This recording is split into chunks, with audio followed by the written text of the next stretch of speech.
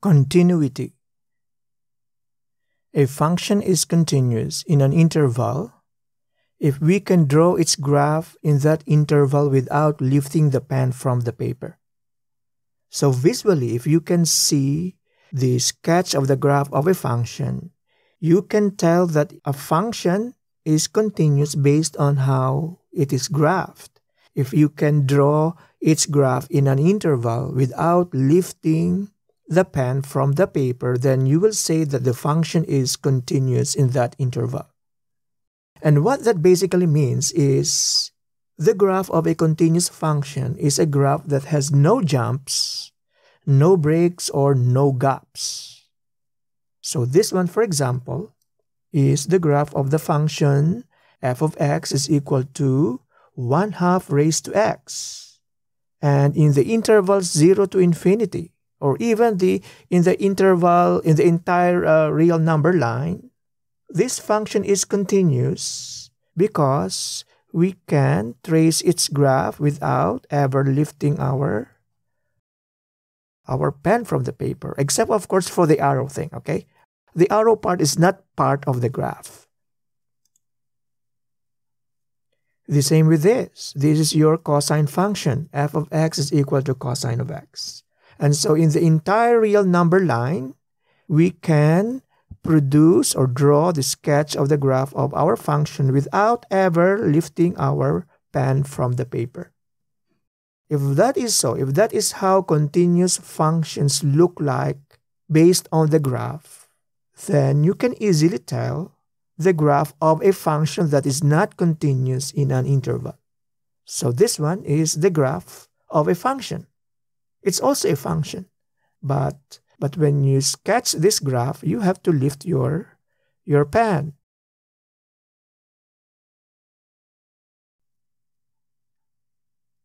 So let us look at this function in the interval negative 1 to 1. So if we shall sketch its graph from negative 1 to 1 in the interval negative 1 to 1. And then when we got here, we have to jump. We have to lift our pen so this one is not continuous in the interval negative 1 to 1. But it is, it is continuous in other intervals. Let's say, for example, from, from 2 to 3. So from 2 to 3, that is the graph.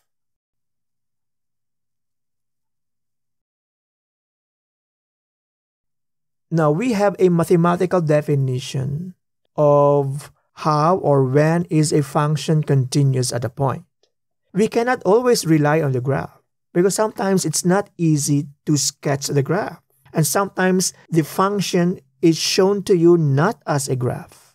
So a function is continuous at a point x that is equal to a if the following conditions exist. f of a exists. It is defined when x is equal to a. The limit of your function as x approaches a exists the limit of your function as x approaches a is equal to f of a. Now let us go back to the limit. When? When do we say? When can we say that the limit of a function exists as x approaches a? So you have your one-sided limits here. The limit of your function as x approaches a from the left must be equal to the limit of your function as x approaches a from the right and it must be equal to a real number L. They must be equal to the same real number L. That is how you show that the limit of a function exists. So we have these three conditions in order to uh, establish that the function is continuous at a particular point. Example 1.29 determine if the function is continuous at a point. Given a function defined by this. So this is what I'm talking about earlier. You cannot always rely on the graph because sometimes you don't know the graph. Sometimes the function is given to you or defined to you in terms of uh, this, in this way, and not in terms of the graph. So in this case, we will use our definition of continuity at a point. Explain why the function is discontinuous when x is equal to 2. So when it is discontinuous, it is not continuous. So we must go back to this. These are the conditions that must be met in order for us to say that the function is continuous when x is equal to 2. Okay, so let us check. Does f of 2 exists? What is f of 2? Well, look at that. Look at that. It says here when x is 2, f of 2 is 3. Okay, so we are done with this part. How about the limit? What is the limit of your function as x approaches a? Well, you cannot go directly there. You cannot jump right away at evaluating the limit when x approaches 2 because you can approach 2 from two directions. You can approach you can approach 2 from the left or you can approach 2 from the right. So let us investigate what is the limit of our function as x approaches 2 from the left. So when x is approaching 2 from the left, so that means your x or your x's are less than 2. Okay? And so that means the limit of your function as x approaches 2 from the left is equal to this. 2 squared, it is equal to 4. Okay? This one is equal to 4. How about when x approaches 2 from the right. So that means your x's are greater than 2.